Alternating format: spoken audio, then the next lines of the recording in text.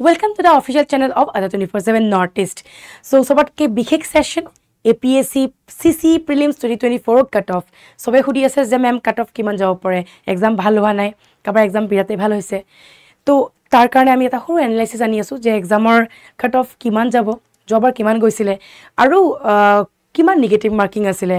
ত' মই দেৰি নকৰি পেলাই ছেশ্যনটো ষ্টাৰ্ট কৰি দিওঁ। যোন যোন আহিছে yes welcome to the official channel of Adda twenty four seven north east হ' আশা কৰোঁ চবৰে এক্সাম মডৰেট ভালেই হৈছে। কাৰণ যিহেতু পেপাৰৰ পেটাৰ্ণটোৱে আছিলে ফ্ৰম মডৰেট টু ডিফিকাল্ট খুব একদম টানো নহয় খুব ইজিও নহয়। তো তাৰ কাৰণে আমি এটা সৰু এনালাইচিছ আনি আছোঁ। তো ইয়াতে চাই লওক এটা বস্তু যে আমাৰ এইবাৰ কিমান পষ্ট আছিলে। তো আমাৰ পষ্ট এইবাৰ কিমান আছিলে? এ পি এছ চিৰ আমাৰ টোটেল পষ্ট কিমান দিছিলে এইবাৰ? এইবাৰ two hundred thirty five post আছিলে। So' two hundred thirty five পষ্টৰ applicant around one lakhs আছিলে। তো য়েছ আমাৰ যোনটো মানে এইবাৰ কম্পিটিশ্যন বিৰাটে হাই কাৰণ ইমানখিনি পষ্টত যদি ইমানখিনি এপ্লিকেণ্ট আছে দেন ভাবি লওক। তো তাৰ লগতে আমাৰ এইবাৰ এক্সাম চেণ্টাৰ ইমান বেছি নাছিলে। এক্সাম চেণ্টাৰ খুব লিমিটেড আছিলে। তো মই এতিয়া ডাইৰেক্টলি এটা বস্তুলৈ যাওঁ সেইটো হ'ল আমাৰ মাৰ্কছ ডিষ্ট্ৰিবিউশ্যন কাৰ কিমান আছিলে। এইখন হ'ল পেপাৰ টু পেপাৰ ওৱানৰ মই লিখিয়ে দিছোঁ বাৰু। পেপাৰ টুত তাৰপিছত গৈ আছোঁ। তো পেপাৰ ওৱানত যোনে যোনে দিছে নিশ্চয় দেখা পাইছে যে এটা কুৱেশ্যনৰ পইণ্ট টু ফাইভ মাৰ্কছকৈ ডিডাক্ট কৰিব মানে এৰাউণ্ড পইণ্ট ছিক্স মান ডিডাক্ট কৰিব। ধৰক এটা কুৱেশ্যন আপুনি শুদ্ধ কৰিলে বোলে ফাৰ্ষ্ট কুৱেশ্যনটো আপোনাৰ শুদ্ধ হ'ল ছেকেণ্ড কুৱেশ্যনটো বোলে ভুল হ'ল। তো এই ছেকেণ্ড কুৱেশ্যনটো যদি ভুল হৈছে ইয়াৰ পৰা চাৰি ভাগৰ এক ভাগ যাব মানে আমাৰ point six around point six কিমান কিবি আছে আৰু।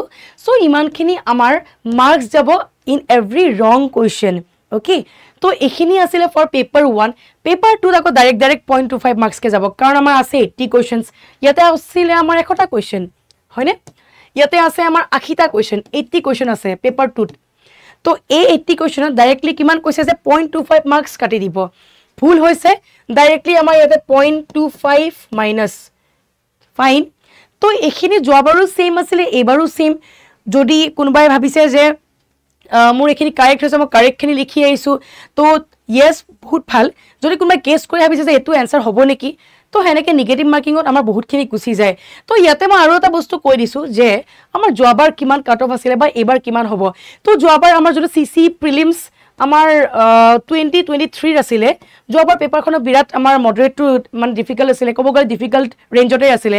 চ' আমাৰ বেছি যোৱা নাছিলে যোৱাবাৰ ছেভেণ্টি ফ'ৰ পইণ্ট ফাইভ কৈছিলে হাৰ্ডলি চ' এইবাৰ আমি কিমান এক্সপেক্ট কৰিব পাৰোঁ? কিমান যাব পাৰে? C C E twenty twenty ফ'ৰত কাট অফ কিমান যাব পাৰে? এইবাৰ যদি কৈছে লাষ্ট ইয়েৰ যদি ইমানখিনি হৈছিলে চ' যিহেতু চবেই কৈ আছে যে মেম আমাৰ এইবাৰ পেপাৰ ওৱানখন টান পাইছোঁ। কিছুমানে কৈছে পেপাৰ টুখনো টান পাইছে হয়। কাৰণ এইবাৰ চি ছেটৰ যোনখন পেপাৰ হয় পূৰা বেংক লেভেলৰ কুৱেশ্যন দিছে। যদি মানে দেখা পাইছে পেপাৰখন কুৱেশ্যনছবোৰ ইমান ইজি নহয়। চবে চবে ভাবে যে আমি কোৱালিফাইং মাৰ্কছ পালেই হৈ যাব। বাট কোৱালিফাইং মাৰ্কছ পাব কেনেকৈ? কাৰণ এইবাৰ যোনখিনি কোৱালিফাইং মাৰ্কছৰ কুৱেশ্যনছ এটেম্প কৰিবও বিচাৰিছে দ'জ ৱেৰ হাৰ্ড ৰাইট যোনে যোনে দিছে দেখা পাইছে মেথছ ৰিজনিঙৰ কুৱেশ্যন যোনে মেথছ ৰিজনিং ডেইলি প্ৰেক্টিছ কৰি আছে তেওঁলোকৰ কাৰণে বিৰাটেই ইজি পাইছে। কাৰণ প্ৰেক্টিছ কৰা বস্তুৰ পৰাই আহিছে। আমাৰ যোনবোৰ আমাৰ পেইড ক্লাছ আছিলে পেইড ক্লাছৰ বেটছৰ আমাৰ চবৰ প্ৰায় কমেণ্ট পৰিছে। যেনেকৈ আমাৰ অভিজিত ছাৰে কৰাইছে অভিজিত ছাৰৰ অলমষ্ট গোটেইখিনি কমেণ্ট পৰিছে। চাবনা ছাৰে যোৱাকালি কৈছিল তাৰ কমেণ্ট পৰিছে। আমাৰ ইংলিছৰ ইংলিছৰ ডাইৰেক্ট পেছেজটোৱে আহি গৈছে।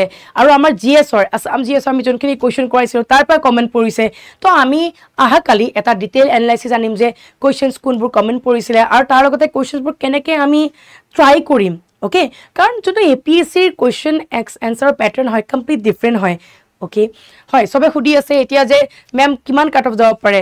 চ' মই যদি কওঁ eighty five to ninety may be যাব পাৰে। অ'কে মে বি নাযাবও পাৰে। কাৰণ এইবাৰ পেপাৰখনো যেনেকৈ ক'লোঁ মডাৰেট টু ডিফিকাল্ট আছিলে। মডাৰেট টু ডিফিকাল্ট আছিলে। তো এই ক্ষেত্ৰত ইমান কাট অফ নাযায়। কিছুমানে কৈছে মেম এশ বিছমান যাব নেকি? নাযায় এশ বিছ কাৰণ হাণ্ড্ৰেড টুৱেণ্টি যাবৰ কাৰণে কুৱেশ্যনছবোৰ এনচাৰ কৰিবও পাৰিব লাগিব ৰাইট মেক্সিমামে যিমান কৈছে যে মেম আমি পঞ্চাছটা কুৱেশ্যন কৰিছোঁ ফিফটি কাৰেক্ট হ'বই হাণ্ড্ৰেড হয়তো তাতে এটা দুটা ভুল হ'ব পাৰে। So' eighty five to ninety এটা ৰেঞ্জ ধৰিছোঁ হয়তো ইমান নাহিবও পাৰে অ'কে ইমান আহিবও পাৰে। তো আপোনালোকে মন বেয়া নকৰিব যোনে ভাবিছে যে ইমানখিনি মই পাম বা ইমানখিনি এইট্টি বা নাইণ্টিৰ ভিতৰত ওলাই যাব পাৰে। কাৰণ যোৱাবাৰ আমি নাইণ্টিমান ভাবিছিলোঁ কাট অফ বাট গ'ল কিমান? ছেভেণ্টি ফ'ৰ পইণ্ট ফাইভ তেনেকৈ বহুত ষ্টুডেণ্ট ওলাই গৈছিলে ৰাইট তো ইমানখিনি আমি গেছ কৰিছোঁ যে হ'বও পাৰে আহিব হ'বও পাৰে নহ'বও পাৰে অ'কে তো মই আকৌ এবাৰ মনত কৰি দিছোঁ যে আমাৰ অলমষ্ট গোটেইবোৰ বেটছৰ পৰা কমেণ্ট পৰিছে পেইড বেটছৰ তো তাৰ কাৰণে যোনে ভাবিছে যে মেম আমি এইবাৰ আদতৰি ফ'ৰ ছেভেন নৰ্থ ইষ্টত কুৱেশ্যনবোৰ মানে আমি আৰু অলপ শিকিব বিচাৰিছোঁ ভালকৈ। নেক্সট টাৰ্মৰ কাৰণে প্ৰিপেয়াৰ কৰিব বিচাৰিছোঁ। য়েছ তেওঁলোকৰ বাবে আহি আছে এটা আমাৰ বহুত ভাল batch date is Arjun batch so' আমাৰ আৰম্ভ হ'ব বাৰ এপ্ৰিল ঠিক বিহুৰ আগৰ পৰা। আৰু ইয়াতে আমাৰ বহুত বস্তু ফ্ৰী আছে যেনেকৈ free forty hours C A current এফেয়াৰ্ছৰ test series পাব।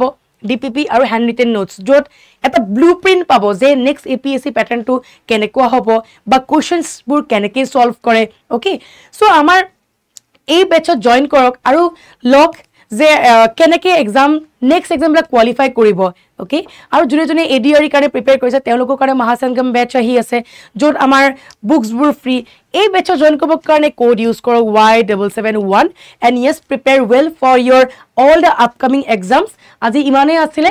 হোপ ফৰ দ্য বেষ্ট সকলোৰে যাতে এই এক্সাম ক্লিয়াৰ হয় আৰু যদি নহয় ডোণ্ট বি ডিছহাৰ্টেন নেক্সট আৰু চান্সেছ আছে। So' thank you so' much students for joining and আমি আকৌ লগ পাই আছোঁ।